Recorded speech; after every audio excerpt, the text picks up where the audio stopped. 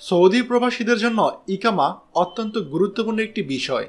কিন্তু বর্তমান সময়ে সৌদিতে থাকা প্রবাসীদের ইকামা ফি বাড়ানোর কারণে অনেক প্রবাসী ইকামা বানাচ্ছেন না অথবা ইকামা রিনিউ করছেন না। যারা সৌদি আরবে অবৈধভাবে আছেন, তাদের এত টাকা দিয়ে ইকামা না করলেও চলবে। কিন্তু যারা সৌদি আরবে বৈধভাবে অবস্থান করতে চান, তাদের অবশ্যই ইকামা রিনিউ করতে হবে। আর যদি না করেন, তাহলে আর্থিক জরিমানার সম্মুখীন হতে হবে।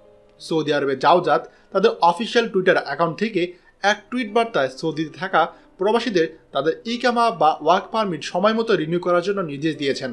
আর যদি কেউ সময় মতো ইকামা রিনিউ করতে ব্যর্থ হন, তাহলে তাকে অবশ্যই জরিমানার আওতায় আনা হবে।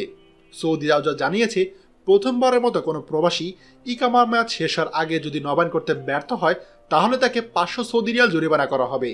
যদি দ্বিতীয়বার কোনো প্রবাসী তার আকামার মেয়াদ শেষ হওয়ার আগে নবায়ন করতে ব্যর্থ হয়, তাহলে তাকে এক হাজার সৌদি রিয়াল জরিমানা করা হবে।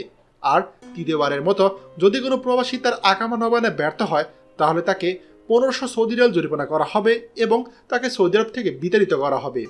তাই যে সকল সৌদি প্রবাসী ভাইরা আমার এই ভিডিওটি দেখছেন, আপনারা অবশ্যই আপনার ইকামার ম্যাচ শেষ হওয়ার আগেই ইকামা কার্ডটি নবায়ন করে ফেলবেন এবং আপনার ইকামা কার্ডটি সবসময় আপনার সাথে রাখবেন।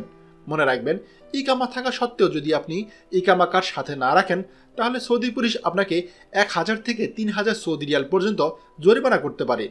ভিডিওটি খুবই গুরুত্বপূর্ণ, তাই সকল প্রবাসী ভাইদের সাথে অবশ্যই শেয়ার করতে ভুলবেন না।